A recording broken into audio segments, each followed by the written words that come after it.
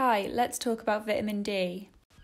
Vitamin D is essential for calcium and phosphate regulation in the body, which is needed to maintain bone and muscle function.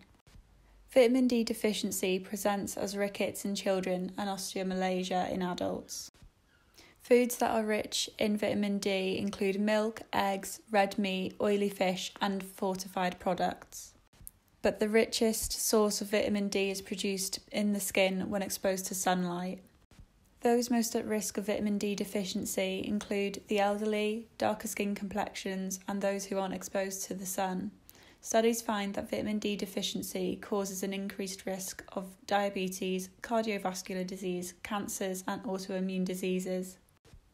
Vitamin D supplementation has found to be protective against upper respiratory infections. There has also been multiple studies determining the relationship between vitamin D deficiency and COVID 19.